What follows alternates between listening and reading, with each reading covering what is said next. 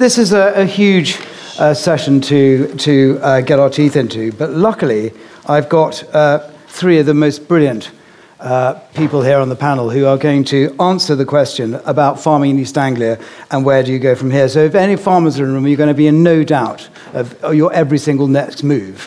And if you're buying food, you're going to know exactly the kind of food you're going to need to buy. Uh, so that's great. And I'm going to come really much from the premise that you know, farming has to change. And it has to change in, time, in, in, in terms of true cost accounting for food production, for farmland biodiversity loss, healthier soils, and uh, we need to be the solution to climate change rather than the problem. It's about community, uh, rural cohesion, and better, healthier farmers. So, my panel uh, is first of all, we have the former uh, barrister Sarah Langford, who's written a book called Rooted, who is, is available outside, who maps her own journey on her own family farm, but also accounts for uh, some inspirational farmers uh, who have changed their business inexorably uh, for the better. And so I think Sarah's voice really sort of comes from the sort of human angle and uh, culture. Uh, Jake Fiennes has watched our countryside change uh, for the worse and for the better during his career, ranging from gamekeeper uh, to director of conservation at Holkham. And uh, Jake is our land healer, which is conveniently, I didn't make that up, it's actually the title of his book, uh, which is also available.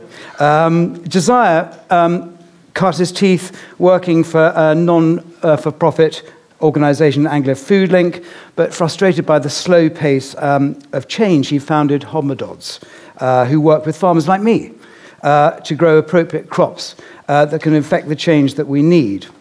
So just to give you a little bit of background, these are some DEFRA statistics for, from 2019 to give you some context of where we are now. Um, so, and, and, just talking about our region. Um, so in 19, 2019, uh, the biggest, biggest contributors to the value of EA agriculture output of 3.4 million was wheat, uh, poultry meat, fresh vegetables, and pigs. So we've been hearing a lot about how much the, the wheat that we grow on our farm goes into pigs and poultry, and that's, that's, uh, they're, the facts for you. Um, total farm income uh, from farming has increased by 31%. Uh, between 2005, uh, 2015 and 2019 to 885 million, so it's growing. Uh, also in the east of England, we have uh, bigger average sized farms. Uh, from uh, the average in, in, in, England is about 87 hectares, and in East Anglia there are 121 hectares, so circa around sort of 300 acres. So, so you know, where have we come from and uh, where are we, are we, now? And in terms of sort of cultural references in the environment and food production. Um, so I'm going to turn to Sarah, first of all. Um, we've got some great uh, cultural references to uh, navigate where we have come from in terms of our East Anglian farming history. But, but first of all, you, you came from a family farm in Hampshire. Mm and then moved to a, another family farm, your husband's family farm in Suffolk, where you undertook to take it on uh, with two uh, young children, uh, was also writing a book, uh, went to do a, a, study at the Royal Agricultural University, and, and you converted to organic. I cannot think what you were thinking of. Um, but anyway, I just wanted, if, if, coming from Hampshire and the lovely Hampshire Downs, uh, coming to Suffolk, and, and the only the, the, the, the, familiarity between the two counties is we both have some black and white sheep with sort of wool, uh, with just white and then a black face and, and some black black legs. Uh, uh, yours have a little bit more wool on the head, which makes them a little bit uh, more difficult to shear. So, so having a sort of a similar coloured sheep but a slightly inferior one on your part, what are the major sort of differences culturally? Do you think between that sort of rolling landscape of the Hampshire Downs and Suffolk? I mean, well, you said it, there are hills there. and I've never, before we moved to Suffolk in 2017, which was completely by accident. I had been living in London for a decade and had no plans on becoming a sort of sheep person. And, uh, and then when my husband lost his job, we, we decided to have a break from reality without realizing that we were tipping straight into the middle of reality. And uh, I think I'd never before really, although I've been going back and forward to Suffolk for a long time, stood in a field where I couldn't see the beginning or the end. The fields around us are, are vast and flat. And when I go back to Hampshire, which is, I grew up in Winchester, my, um, my grandparents who were post war farmers, and my uncle um, farm in just outside the village in Cheriton. And it's, I go back and it seems dinky and tiny with these winding hills and hedgerows. And so the sheer scale of East Anglian arable land was like a bit like landing on the moon. And I realise the comparison is nothing if you take it down to Devon and no. the hedges down there. But it, it, in a way, that was an exciting an exciting challenge. And I should, the, this whole talk, I should say, John thinks that he's chairing it. but we've agreed that as he is the farmer on this panel with the most experience, we may well just pivot some of these That's questions straight back because it's not going to happen. We would not, um, we would so, not be farming organically if we hadn't come to your farm and seen what you can do well, that, that's very kind of you, land. and uh, you're very. I, am flattered hugely by that comment. um, Sarah, but what about your cultural references when you're writing mm. your book? I mean, we've got a sort of wealth of wonderful authors from Suffolk, older ones and, and ones from the last century. What were your sort of cultural references? Well, again, this was not a. You know, I had no intention. I hadn't intended to fall in love with farming. I wore a black suit for 10 years and was in a courtroom and felt like that was my kind of old life. So it's not something that I, I was very ignorant about the literary tradition with it. I think that's the thing that is so interesting about agriculture and why it's not just a job, it's not just how you spend your time.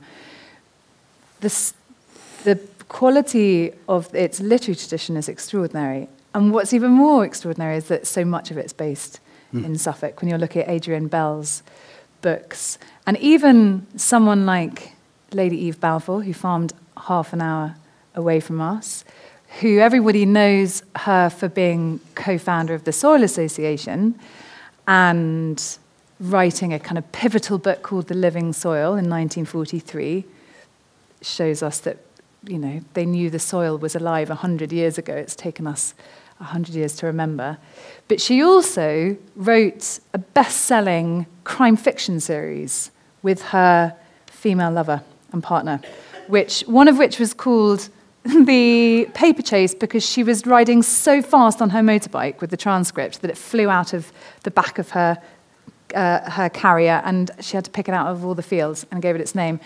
So there's something there is something about this tradition of farming and the cultural side of it and a literary tradition which has been kind of well wedded for mm. many many years. And it's, it's really interesting to see those sort of examples of sort of back to the land writers sort of come back and get some kind of reality after sort of you know two great wars. Mm. Um, my, my, for my own, uh, it was uh, Ronald Blythe and reading Akenfield. Yeah. It really helped, me understand the people on our farm. It was about yeah. the people, and the references were just fantastic. And we had a farm where most of the men were single, and they were of a certain age, and it was because actually when they were, where they were to be married, uh, the sugar beet factories opened in Bury St Edmunds and Ipswich, and uh, you could go there and get a, a regular job, and you could see your girlfriend at weekends. Um, so uh, it was just a fascinating thing for me. Um, uh, Jake, and actually Charles Clover uh, helped me out a little bit on this because he made a comment about um, uh, land ownership and, uh, and, and rewilding the sea. It was much easier because actually there were fewer owners of the sea, mm-hmm. so you could make better decisions. But you've worked in a, range of roles for larger estates, Knepp and Raveningham and Holkham, uh, but you've also been uh, an observer of how land has been managed privately uh, and also by tenants. And, and given that a third of the agricultural land in East Anglia is, is managed by the tenanted sector, I just wondered if you'd had any observations on uh, how ownership has helped, helped or heeded uh, the way that we manage our land. And I suppose that, you know, it, have we got the, you know, the, the right sort of land ownership uh, for, for the future? And, and, and, and does size matter, as William uh, uh, outed me from being a large cereal farmer in the last session. Uh, but, but what, what's your view on that, Jay? Because you've seen a range of the, this different. So, so uh, UK land ownership. There's not that many landowners in the UK for the for its size. Seventy percent of the UK or England is in is in some sort of agricultural use, whether that's extensive or whether that's uh, industrial. Um, and there are, you know, we've got pension funds that own land. We've got sort of, we've got government that owns land. I think uh, the largest landowner, you've got National Trust, which is one of the largest landowners. You've got the RSPB, which is a significant landowner. Um, but all of the landowners that I have worked for, coincidentally, uh, two Etonian and one, two Etonians and one um, uh, Millfield. Um, they are, they are long term hereditary landowners. And the difference between the, uh, the ambitions of the Wildlife Trust and the National Trust, they're sort of charities and they're in perpetuity and they have specific goals. But what I find with the, the landowners that I have worked with that are institutional sort of, um, you know, they're earls and barons and whatever, um, they actually have a really long-term view. They have a long-term view with their tenants, and we saw the Baroness Rock report that came out just before Christmas, um, where uh, how the tenanted sector actually there are tenancies for for farmers that are, are less than three years in length in term.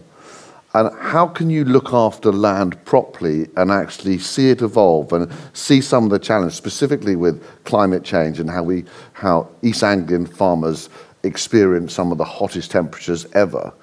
How can they have a long term view on such short term tenancies? So basically, you're going to be giving all the tenants at Holkham much longer tenancies from now on. There are ne- negotiations going on whilst we speak. Good, because it is um, difficult. It is. It's very difficult.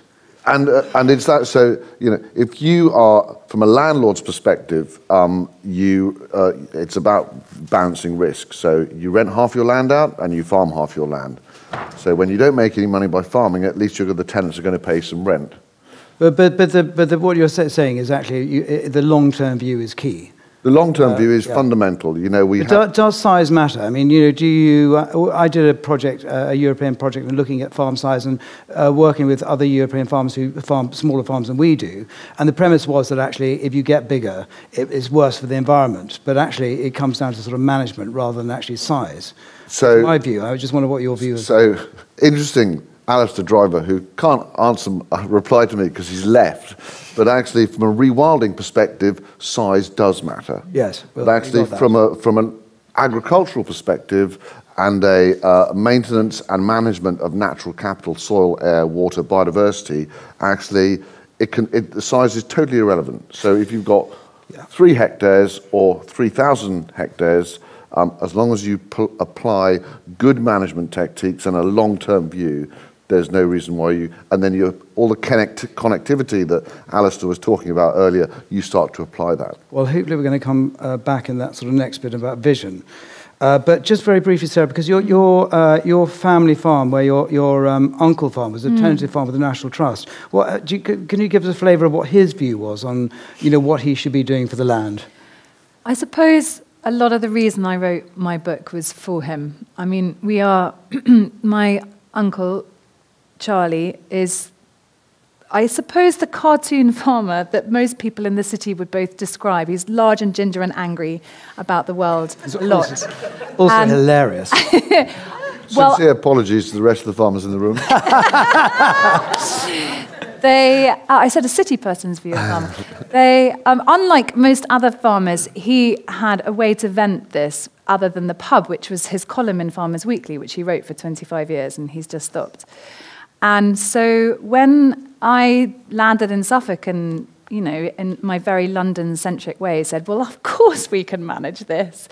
It, everything I believed and thought, he was the opposite of. So he, my grandparents, took on their farm five years after wartime rationing ended.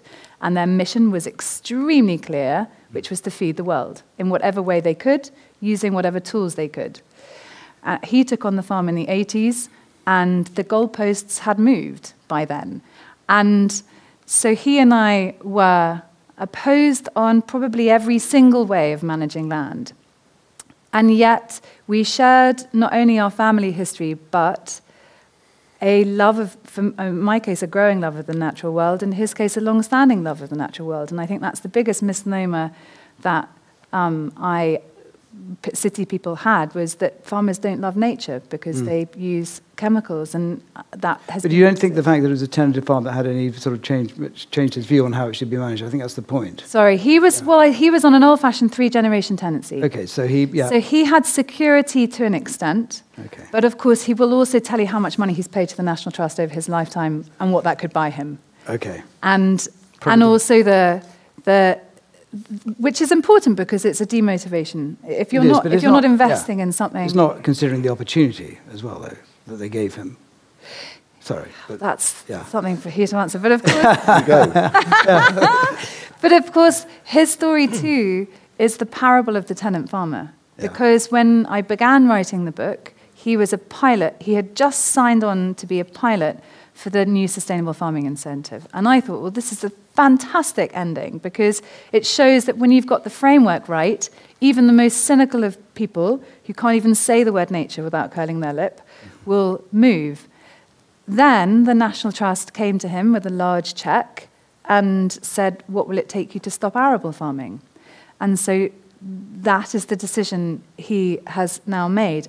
And it's a decision that wouldn't have been available if he wasn't a tenant farmer. No. So now he is, as of last, the end of last harvest, he is still farming, but on a very small scale pasture. Mm. And 850 acres of arable have just been sown up with meadow seed for the first time in probably hundreds of years. Okay. And that choice that he made to do that is only because he is a tenant farmer and has no other security otherwise. Yeah. So that's the thing. Um, Josiah, I'm going to move on to you because um, you know your business is very much about decommoditizing food, and you know I've even and, and William alluded to it in the last uh, talk. Even though we went organic and we were going niche, we just found ourselves actually producing organic commodities in the same sort of uh, cereals and, and pulses that we were producing beforehand. Uh, but in, in your view, in the sort of business you've seen and, and the sort of raison d'etre behind your, your business, is, is what has um, viewing food as a commodity done to our farmers and also how they manage their farms, in your, in your view? Yeah, I mean, that's a, that's a massive question. Um, but I think it does refer back to some of that cultural um, piece that we were talking about earlier. And I think if we think back to those immediate post war years and farming practice and the tools and the techniques that were used from destoning to the use of sickles and George Ewart Evans writes about this beautifully hmm. in his book that that connection there stretched back 10,000 years to the Bronze Age settlers that first farmed the British Isles. And in 70 years, we've lost that 10,000 year connection. And with that, we've lost a whole culture around farming and a culture in the communities, the farming communities that used to produce that food and work in those fields. So, my view, and this, this uh, how many farmers are there in the room, out of interest? Oh, quite a few of you. I better be quite careful. Um, who eats food? Hey! like a safer ground. Um, but I think, I think farmers have, have largely, over the last 70 years, because of that productivist paradigm, that policy frame that said we must feed the world, which I think is a misplaced uh, policy driver, have found themselves essentially factory floor operatives. You know, they're, they're told what to grow, when to sow it, what to spray on it, when to harvest it. They're told what price they're going to get for it. They don't even set the price. Uh, and they've become very good at responding to the policy framework that emerges from government. And we see a landscape that is a reflection of that policy, which is no hedges for us, fewer hedges in East Anglia, um, you know, and a loss of nature and a loss of that, that connection in the landscape. And I think food and food culture really connects us to landscape. We are very much shaped by the, the geomorphology, by, the, by the, the, the, the landscape, the ecosystem, the underlying ecosystem within which we farm, which dictates what we can grow, and then we shape a whole culture around that. And in, in Suffolk and Essex in particular, we see all the wool churches, which reflect that period when we were producing wool and sheep and we were you know, supplying the whole of Europe with very fine quality cloth. And, and we can see the same on a smaller scale with some of the crops that we're working with in other parts of Europe. For example, we grow a small, mottled, dark coloured pea called a carlin pea, which is traditionally eaten in the north of England and has a whole, a whole tradition around bonfire night and also around Passion Sunday, Care Sunday, for, for being eaten to celebrate the turning of the year. But in parts of northern Europe, that celebration is stronger and is much more embedded in a wider culture.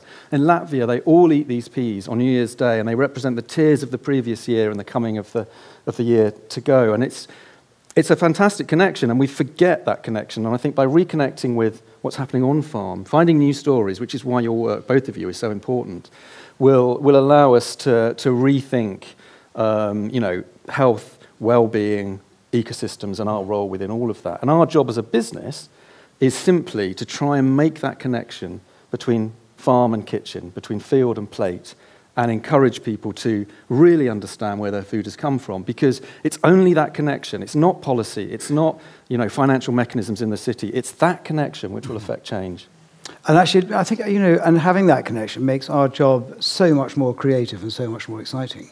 And it does seem quite bizarre that we do eat a lot of uh, protein pulses in this country, but they come in a blue tin, uh, but in tomato sauce. Mm. And you know, we've got so many other opportunities, yeah. and, and, and you are providing farmers and beginning to provide more uh, uh, uh, opportunities for farmers to grow the things that we need to grow. Um, so I'm just going to go on to uh, uh, some about vision. And um, Jake, you know, we've um, you know heard a lot at the conference about you know from the one extreme to the other. So so rewilding uh, on, on one one extent. Um, and, and in your book, I love the way that you talk about edges, and it really you know got me thinking about you know actually, in reality, are they the, the, the, points on our farm where we have the most biodiversity? And you're absolutely right, they are. So, so if, if and I was saying at lunchtime, what, what I'd love to be able to do uh, uh, from the village of Shimpling and Alpheton, which is where we farm around, is for people to be able to look out uh, at that landscape and look at something that looks completely different. Uh, and uh, with the sort of corridors and everything we need. Can you sort of paint a verbal picture of how you see uh, the land in East Anglia and how it might look in sort of 25, 30 years' time? So I've created what it looks like. I've done it. I've done it where I am now, and I've done it where I was before. And um, and Mark Cocker, who's been here, um, actually came and visited me on on the, the estate in South Norfolk, where we started to implement the vision. Mm-hmm. And I was, um, and Mark, you know, we had this one moment where I was messing around with catch crops, cover crops, but I didn't really know what they weren't even given a name. And Mark um, had visited and was very excited about seeing seeing wildlife where he's around his house he saw nothing. Mm-hmm. Um, and he came and he uh, he came and I said, Mark, Mark, I've got a I've got a nature moment. There's really nature moments don't happen very often, and invariably people miss them or see them on Instagram. And actually, but to actually to see one for yourself, the spectacle of nature, really um, showing off in all its glory. They just, you know, you just have to. They, they happen, but you just got to be aware of them. Um, so I said, Mark, come on, I've got a, I've got, I've got six. I've got, I know, there's about ten thousand swifts feeding off two hectares. It's a spectacle. They have come up to 60 miles. So Mark rushed, he lived about three miles, rushed down the road, um, and he turned up in a yellow t shirt. Now, the swifts were feeding off um, uh, pollen beetles yeah. that were blooming. so suddenly, as Mark jumped out of his car in excitement to see swifts, his yellow t shirt went black. But that was a nature moment. That is a connection. And, you know, Mary Colwell, who has written numerous books, came and visited the spectacle of. Uh, so at Holkham, I've made small differences. We made a wetland wet. We're not doing anything out of the ordinary.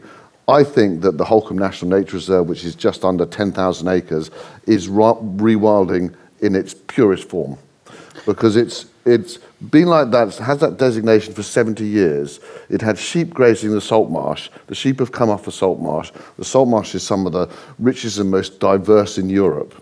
So, but I also have a million people coming to visit. I also have, uh, I also have a, a, herd of 800 single sucklers. Mm. Um, and what we do is that we get nature moments. So bringing Mary to come and see the geese. Currently, we've got about 60,000 pink-footed geese on site. And when you see them flight in the morning, and I said to Mary, come and, come and witness what the vision is. You know, you can talk about it, you can write about it, but actually come and feel it. Um, so we get there at dusk, or just as, as before dawn, half an hour before sunrise. And we're looking, and you can hear in the darkness the geese chattering away. Um, and I said, just before they fly, it'll go silent. And after about five minutes, suddenly stillness in the air, and then this crescendo as tens of thousands of geese lift. And I just, I was, we were all sort of on it. Mary, Mary, nature moment. And I turned around and she's in floods of tears. Aww. And it's that passion and that energy that the natural world can give us that we are invariably all disconnected with because we're so busy leading our lives, going from A to B, picking the children up, doing the school run, got to, got to go to my next Zoom meeting, got to, you know, here, there, everywhere. Actually, we miss, we, we miss those moments. You said the word disconnected, and actually what we want to talk about is connections because um, what uh, we've been talking, where we were talking about rewilding first thing this morning, uh, uh, you know, you do have to have large areas, but what you also have to understand is that it's very important to have the small areas of rewilding and how do we connect them. And I suppose that, um, so uh, it's great what you're, you're doing, and that's fantastic, but how do we, as farmers who are probably not going to rewild our whole farms, but we need to leave areas scruffy, how is that going to look? So, to, to, to join up these bits. So if I look at, uh, so East Anglia is, uh, we have medieval field systems. We also have, you know, some of them were removed in the, as part of the policy, so a lot of the land is designed by the policy. If I look at Holkham, has probably some of the best examples of Enclosure Act hedgerows. So we have these huge square fields that someone designed. Um, if we look at technology and how agriculture has uh, intensified for mass industrial production of commodities, and we've kind of challenged some of those in the in the conference over the last two days. Um, actually, an investment of a hundred uh, of a quarter of a million pounds worth of sprayer for those of us that use them on a reg- more regular basis than others. Um, uh, actually, you don't have a sprayer.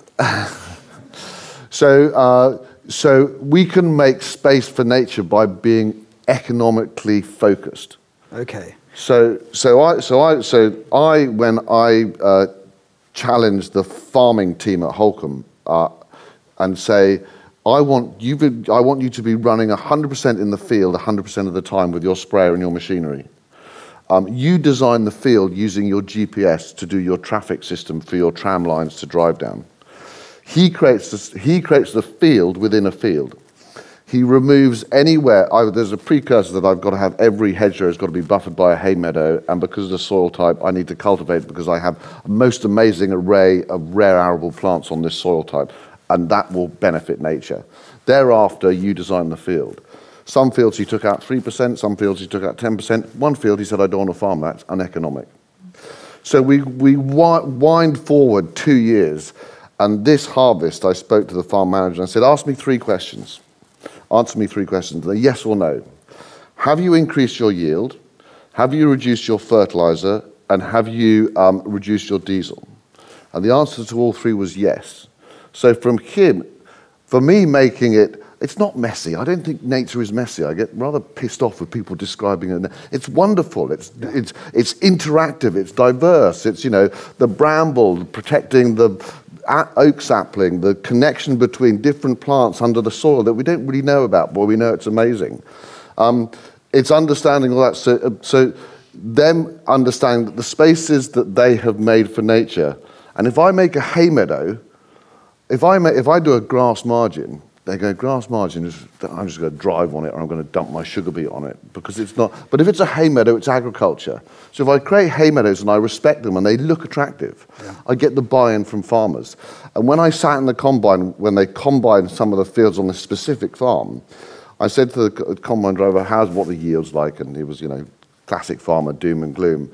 But I said, why do you like coming to this farm? He said, yes, because I see, I see nature. I see things. I see the harrier gliding over the stubbles. I see the hares running through the hedgerows. And I don't see that on any of the other farms. No, and I think actually for, for me it's really important. I said to you about the vision of people in the village looking out and seeing something different because, you know, if we're going to get, you know, pay, be paid for public goods, people need to be able to see it as well and they need to visualize it. Uh, um, Josiah, you mentioned uh, a sort of a vision for the Waveney Valley. And could you just, just, just go over that uh, for us because it was rather wonderful at lunchtime what you talked oh, about. Yeah, so I mean, I think, I think that whole idea about the connection and about hedgerows and how with headlands and, and allowing the hedgerow to be wider gives us this huge opportunity. And I think there are lots of farmers that are looking at these approaches, and there's an organisation called Wild East covers the whole of East Anglia that's looking at some of the smaller pockets. That might be churches or community gardens or or back gardens or libraries. Um, so we can, we can make those, those pathways and connections happen. But I think we also need to be thinking bioregionally. You know, what is the watershed? What is the river valley like? What are the different landscapes in that valley? How do they connect together? And we tend to think very much about boundaries of ownership and political boundaries. You know, where does the county boundary end? Where does the country boundary end? And I think if we can begin to break down those ideas of boundaries of ownership and political boundaries and think in an ecosystem, at an ecosystem scale, we can begin to make really significant changes. And there are things that farmers can do, and you're doing this, John. This is where we turn to you. Um, so Hodmedod is a big advocate for agroforestry, a system of production that sees crops or pasture between rows of trees. And it's a, it's a productive landscape and those, row, those woody rows might be producing fuel or, or fiber, they might be producing fruit, but they're also fantastic havens for wildlife. And John, you've done this on your farm where you've created agroforestry connections between triple SIs and ancient woodland that you've got on the farm. Do you want to talk, asking you a question, no. do you want to just say yes, a little bit no. about... Yes. No, I, I think it, it, it, does come back down to actually the whole concept of um, understanding what nature you have in your farm and work out uh, pathways to get that nature out into the uh, uh, into the open farmland, but also uh, to get the nature back in the woodland that you're probably missing. So in, in, in Alpheton Wood, which is a triple SI, we don't have any dormice. And I could go with a shoebox down to Frithy Wood, which is five miles down the road, and nick one of theirs and put it in there. But I prefer if it made it there by itself. So um, anyway, that's enough about me. Sarah, I, no. I think it's, it's, about, it's, about, a functional ecosystem at landscape scale. It is. Mm. Yeah. You're right. And actually, that, that I think is my vision, and that's what I think you're painting uh, as well, Jake. Um, but Sarah, when, when, when you came back uh, to the farm in Suffolk, mm. and you had this fantastic opportunity to, uh, to, to, to manage it, um, uh, you know, ha, what does it look like now, and, and, and where do you see it uh, going in the future? And, I, am going to say the quote in your book, because you say actually it's not about revolution, it's about the cracks that finally let the light in. And then I was going to say, can you tell us about your cracks? Uh, but then... But okay, I've already, I, have already made that joke. Because actually, to, it's, very, impo- it's it. very, very important, because actually all these meetings we go to is about taking one message home and do, going and doing just one thing and improving yeah. it. What were, the, what were the sort of key well, I, things that you thought you were going to have to do on your farm? Well, I obviously stole that from Leonard Cohen, so you mustn't give me credit for that. But okay. Um, I think I really want to get across how fast this change has happened. When I first pitched this book, I had written a book previously which had done very well, which was about um, the law, trying to take people into a world they didn't see very much. My agent said that farming was extraordinarily boring, she wanted nothing to do with it, and I should not write it. And that was kind of 2019. And when I sat and wrote this, I had already tripped and fallen down the regenerative farming rabbit hole, as had lots of people I'd spoken to. But in the wider farming world, particularly Farmers Weekly, people hadn't, weren't talking about it. Fast forward to now, mm-hmm. and you've got five and a half thousand people attending Groundswell, the regenerative yeah. farming conference. You've got us talking about it at a non-farming conference. Mm-hmm. It's, the, it, the, it's reached the public vernacular in a way that I could never have imagined. So the scale of change has been huge. And I think yeah. that is where I hadn't understood we would get to as far as we got to. In fact, I did write another yeah. book thinking, oh my God, they're going to think it's a load of hippie nonsense. And now I'm thinking, oh, I wish I'd put more hippie nonsense in. Because and, and, and actually, that, that, that is the vision, actually, better communication and, and, th- and events like Groundswell, uh, and also the kind of books that you guys are writing. And also, I should mention, uh, Josiah has a book called Sheaf, which is also available about um, talking about people uh, working in, the, in, uh, in, in, farming situations and making improvements and growing the right things. Uh, so it's about communication, and that's mm. a very important uh, vision to have and to get right. Now, well, I'm I think, sorry. I think just yes. to come in on that, I think, I think also there's a, there's a problem with the way that the policy frame has worked in that policymakers, one, for one reason or another, have, have tended to frame farmers as rational actors, rational economic actors that are going to make rational decisions based on a set of incentives, and they're not. Then that's not going to happen. And, and farmers are motivated by their identity, which is as farmers, their place in the landscape, and they are motivated by things like love for their family, for their community. They're, they're motivated by the beauty of the landscape. And I think that's the hippie stuff, isn't it? That we're quite nervous about talking about. But actually, we can own that and say, yeah, I love this landscape. It's beautiful. I want to be here. Well, that, that leads me quite nicely on to um, uh, uh, the next bit, which is actually about how do we, you know, we've given you a, a, a painted a vision, um, but actually, how do we get there?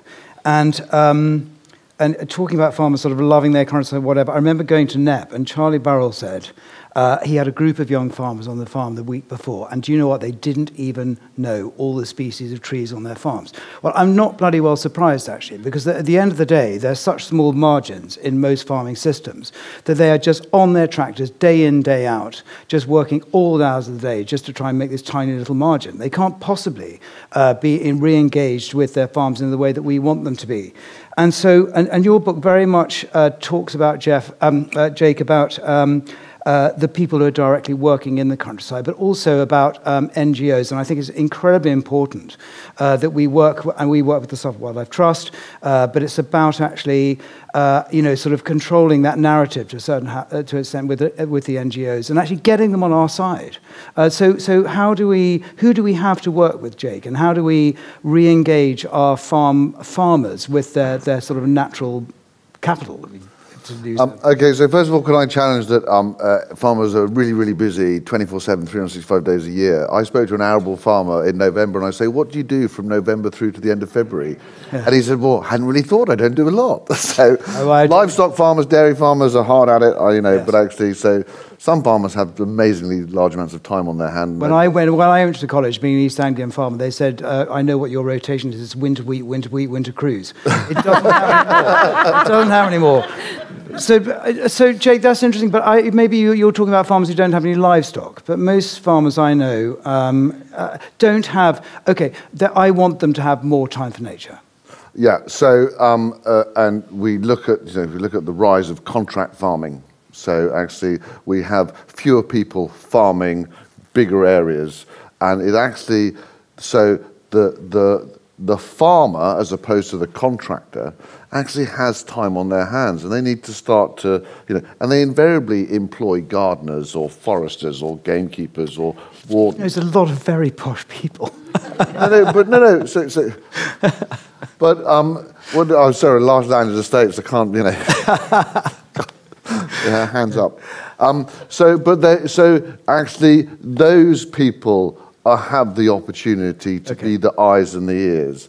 I think you know. I see farmers and farm uh, operators sitting uh, two meters above the soil, mm. completely disconnected. Mm. But actually, they become very efficient, and you know, and some of the. If I look at at Holkham where I got the wardens out onto the farms because no stone curlew had been nesting at Holkham for 20 years.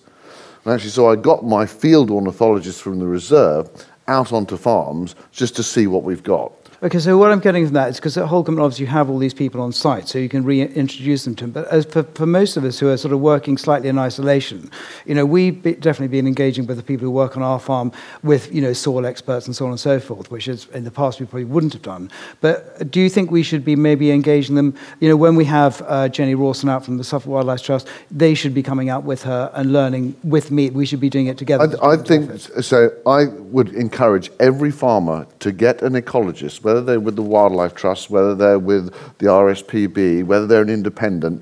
I'm, a, I'm always amazed how the number of retired, invariably old guys out there who have a lot of times on their hand who want to go and investigate places that historically have been off limits. Mm-hmm. So actually encourage these people to see what you have on your farm. And you might be surprised. We are endlessly branded as one of the most nature depleted countries in the world. We're not number one, but we're very close. And actually, if we were to spend more time out on the farm seeing what, I think we might be surprised what we have got. You know, and if we start to baseline and actually see how we can make small management changes that will make big differences, we will be rewarded by seeing an abundance of things that historically have disappeared. You know, orchids, really simple, but orchids are something special because they only flourish when the soil conditions are right. And then there are specific butterflies that only require certain food plants. And all you do is to establish those food plants back on your farm. It's amazing how quickly those butterflies will turn up. And then we get farmer farmer competition. Yeah. We start ramping up the ambition. Yeah. And all of these cluster groups and facilitation farms and farmers working, uh, working together. Then they become trusted partners. Mm. Then actually suddenly have business and finance actually saying, actually, well, maybe we want to buy into your concept. Yeah. And then you get the added value. So it's a, you know, I think it's a really exciting time in agriculture both in the UK but also globally, to actually be the generation that started to put things back. 30 by 30 is a phenomenal ambition, which we will invariably fail at, um, if I'm brutally honest. Allegedly, only, it's about land designation. Allegedly, only about 8% of land meets that 30 by 30 commitment currently. Mm-hmm. I don't think we should be disappointed if we don't meet it. We've only got six years to go. The reality is not going to happen. But if we got to 20%, I think we should be really proud of ourselves because at least we're handing the land to the next generation in a better condition than we took it on.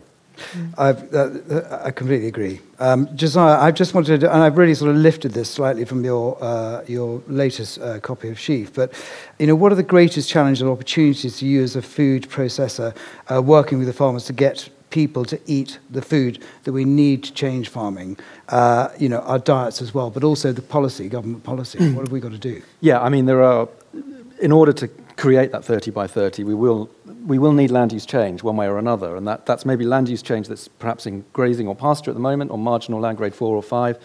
Uh, but it may also be in, in arable areas as well. And one of the ways that we can make that change is through a dietary shift.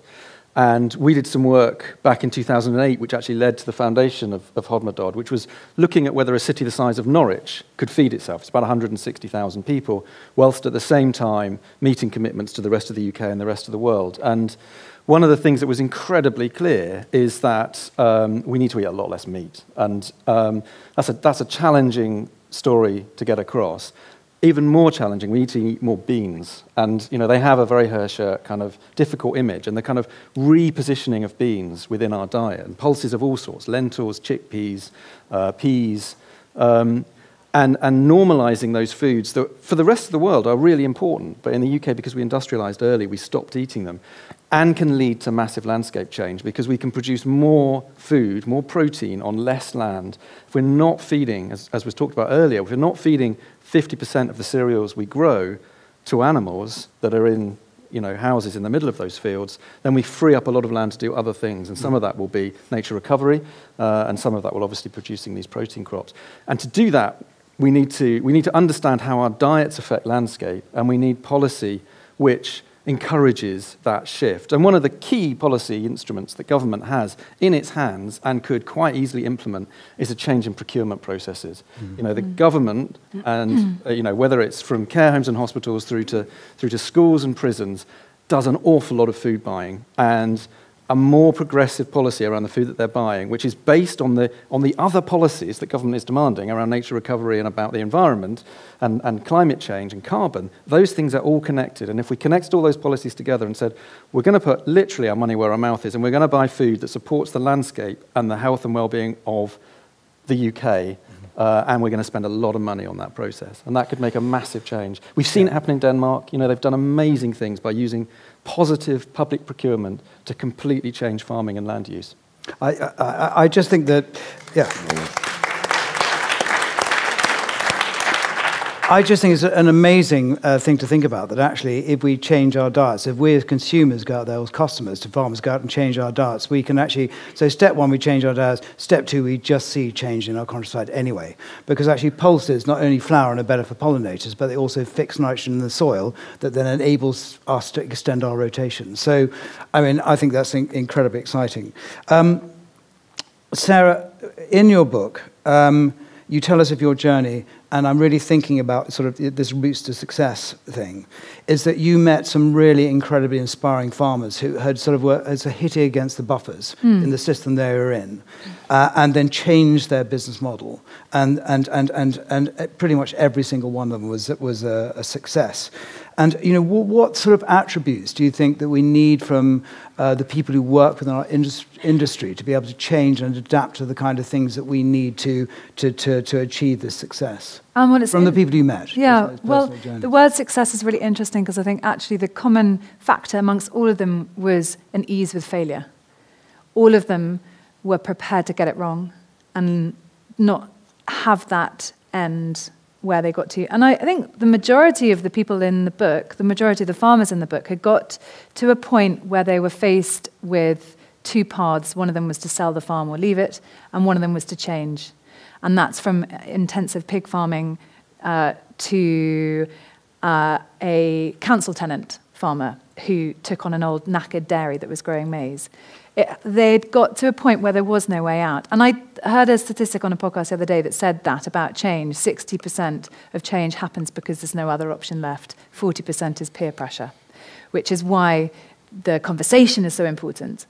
But I think what makes Groundswell and other conversations about regenerative farming so interesting as opposed to maybe the conversations I had growing up with loads of farmer friends and my dad being a lad agent and in that world was it's not boasting about yields at the bar.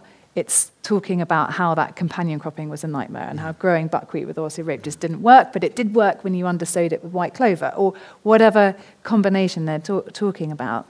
That's an extraordinary, I think, pivot in conversation. Mm talking about it's less, I mean, I may have overused this phrase at the Oxford Farming Conference last week, but it's less of a cock off. There's less just. Of a what off? There's less ego. I'm, go- I'm going to the wrong bars.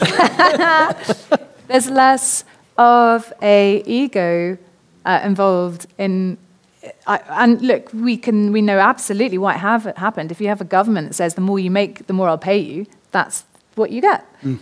And now we've got different incentives, particularly through kind of cluster groups, which and other uh, forms of collaboration. But I think one of the things that I wanted to respond to you about that about, and also that I wanted, particularly an urban audience, to take away from maybe both um, all of our books, is that this kind of that farming can teach you how to see properly. It teaches you how to look it teaches you how to experience sound and your other senses differently. And I had a really, really kind of poignant example when I was standing in our field the other day looking at a disaster that we had done, which was a minimum, we tried, because we or, or are organic, we have to plough, and so we experimented with um, some minimum tillage and put barley after oats. And I stood there with a friend of mine who is an organic farmer, much like you, a seasoned organic farmer, and said, All I can see are oats. And he went, Isn't that funny? All I can see is barley. And as soon as he said it, he was right. I saw, amongst all the wild oats that I could see reaching out, I could see how much barley had actually grown.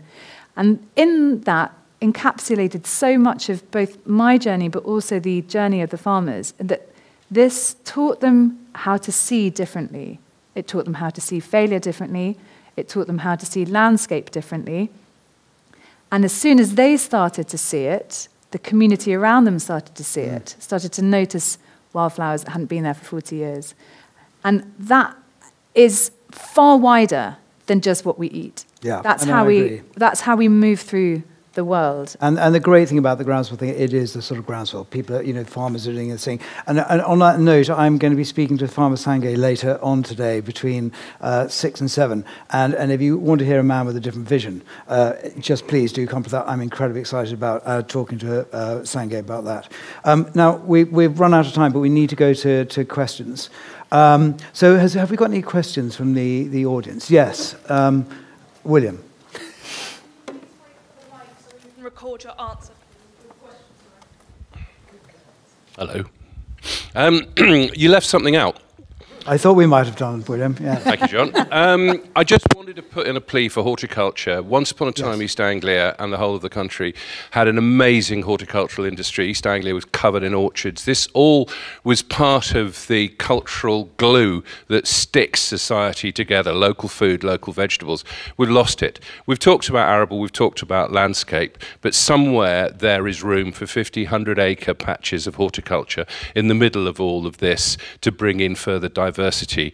What do you? It's a, no, it's a really good point, and actually, this is my bad. Actually, because actually, in the statistics, I was mm. so uh, wanting to tell the story about the terrible amount of feed that we're putting into, into pigs and chickens uh, that fresh vegetables in, in uh, East Anglia did 320 million. So it is, is an important part of that thing, and I missed that out. The horticulture that we see is, is endless hundreds, thousands That's of acres true. of potatoes, yeah. onions, and cabbages. Yes. That's not what a horticultural industry is about.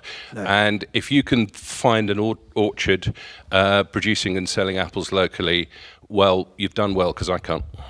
No, I, and it's, yeah. an important, it's an important point. Yes, sorry, I, respond to that, please. I had very quickly, I had a conversation with a friend of mine who's up the road from me the other day, who's never been interested particularly in farming. And she said, I want to do exactly that. I want to know how, how, but I don't even know how. And I said, well, look, this is happening at the moment. I went to one the other day, it's community service agriculture. It doesn't really take place in a large amount of land. Uh, it begins as volunteers and ends up, ends up as a profit-making business.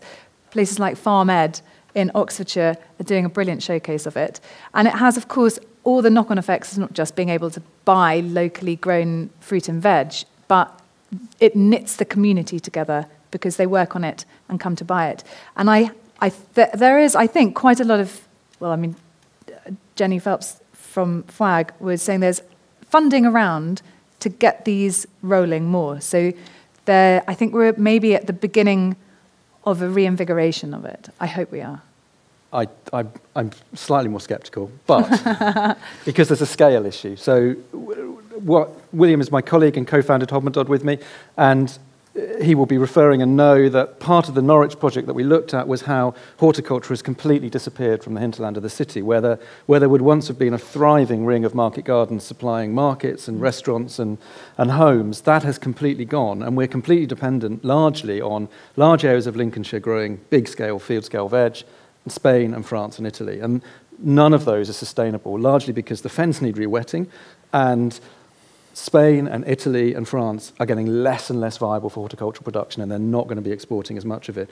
So we do need smaller scale, traditional market gardens, close, two or three acres, five acres, 10 acres, closer to market towns, supplying those towns.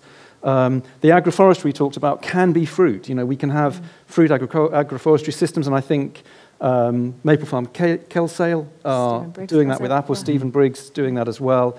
So I think there are systems that we can do to replace that. But there's a big missing gap in education, people having the skills to do this work. We've lost it completely. And the infrastructure that goes with that, the distribution and the markets, which have, which have disappeared as well. And um, I think, it's a, I think it's, a, it's a big challenge, actually. Mm.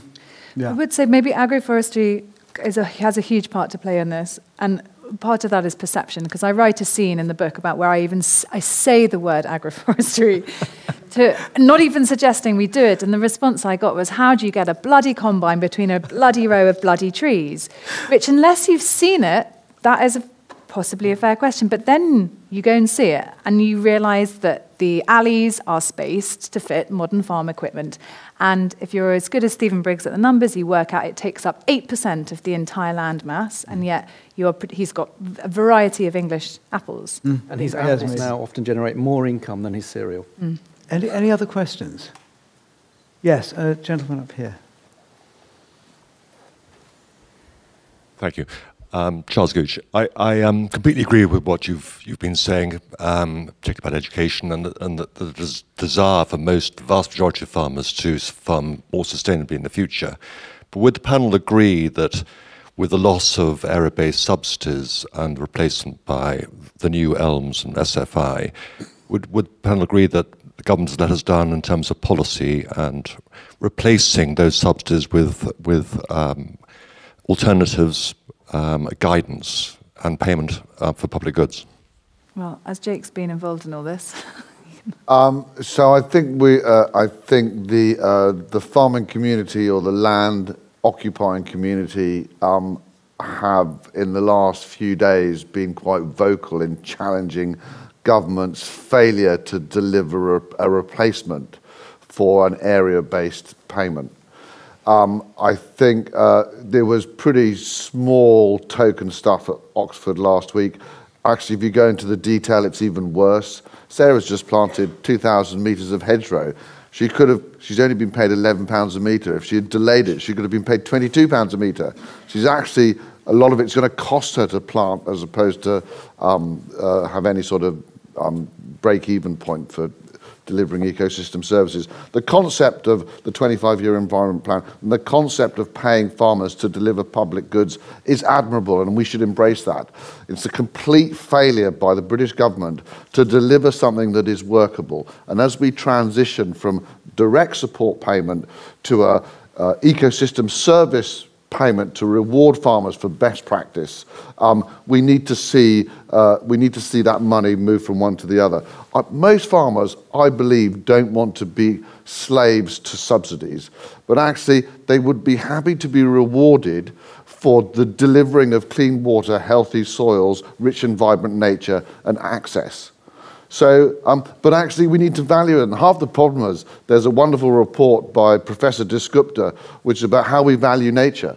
Quite clearly, DEFRA and the Treasury aren't putting a value on nature and people's health and our food and our landscapes because of their complete failure since we left Europe, since we had the Environment Act and the Agricultural Act, which basically enables this to take place, and nothing's happened. Allegedly, the Secretary of State, who's speaking at the NFU conference in February, will probably make some sort of announcement, and we need to come down on her like a ton of bricks because it's going to be seriously short of what was required.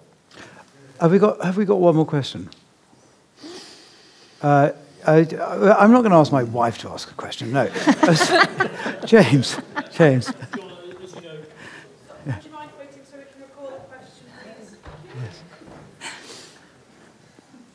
She was, she was going to barrack me, actually, I think. For John or, for John or Jake, um, uh, as John knows, I'm pretty passionate about hedgerows and a massive keen hedge layer. What price does DEFRA need to offer to really change the, the game and get farmers planting hedgerows uh, to the to hundreds or thousands of kilometres back into the back into the landscape. So, so announced last week was twenty two pounds seventy per metre to establish a hedge. Actually, I think at current inflation prices, that's, uh, that's doable. The frustration, when you look into the detail, that's, that's been capped. That's capped at £20,000. So you might want to put in 4,000 metres, but actually you can only put in 2,000 metres. That's frustrating. Um, what is the value? Well, the value when I've, I've done a deal with a corporate uh, and I've delivered land use change because it was a sensible land use change. Um, and they're paying me a thousand pounds a hectare and don't even think twice about it. So, from my perspective, irrespective of income foregone plus costs, actually the true value of uh, delivering all of the above of a natural capital actually comes at that sort of level. Um, and I, and I think that's whenever that we look at the blended finance option, where actually DEFRA um, in, uh, incentivize for an action, but the, but the private sector actually pays for an outcome. That's where we get to those sort of figures. And I'm currently in a landscape recovery pilot on about 200, 2,000 hectares on the North Norfolk coast and down the chalk stream river valleys. And we're working at those, that sort of level, about £1,000 a hectare on a blended finance option. One paying for a management, prescription and, or, or an action, and the other paying for an outcome. Mm. Listen, I'm afraid we've run out of time. Um, can I just remind you all to go and uh, go to the bookshop and buy these good people's wares? It's very important that you do that. I think we're si- are we signing? Are you signing? They're signing. Doing yeah. some signing. Um, I, I, can I can I just say that um, I, have obviously been ignoring the lady in the front of here to tell me, you know, I've got to stop now, but my Apple Watch has just told me I've got to stand, so it must be nearly an hour. So thank you very much for coming.